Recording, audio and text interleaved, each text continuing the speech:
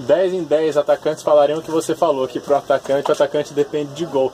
E a gente tem um menino que sempre foi acostumado a ser artilheiro do teu lado, e que já se passaram duas partidas. O Tencate, inclusive, elogiou ele muito por fazer muitos gols em treinamentos, jogo, treino e tudo mais, e duas partidas oficiais ele não fez. Qual que é o papo de vocês mais experientes com ele que ainda não fez gol? Cara, tranquilidade, né? É, é, é normal isso, é, quando você fica duas, três partidas, o pessoal, pô, já tá, conta até os minutos, né? Tá 320 minutos sem fazer. Mas isso é ter tranquilidade, né? Os gols de saber gol, ele, eh, saber fazer gol, ele sabe. É, eu não, não, não, entendo que ele perdeu o gol, ele simplesmente não teve oportunidade ainda de. Teve lá que ele chutou na trave, chutou muito bem no primeiro jogo.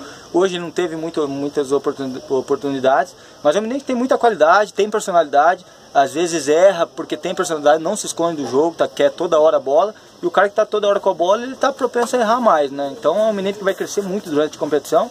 E a hora que sair o primeiro aí, acredito que vai fazer muitos gols também. Você acha que ele está longe do gol? Não, é que assim, como jogam dois atacantes, não dá para jogar nós dois enfiados lá dentro. Um tem que sair, outros. E ele faz esse papel muito bem. Não, não acredito que está longe do gol. Na, na, primeira partida ele, ele finalizou quase dentro da, dentro da área é, tem ajudado muito, claro, na marcação. Então acredito que é mais esse ritmo mesmo de sequência de jogos que, que a gente vai melhorando, vai se encaixando melhor. E como eu falei, é um menino de qualidade e está provando isso e vai provar ainda mais.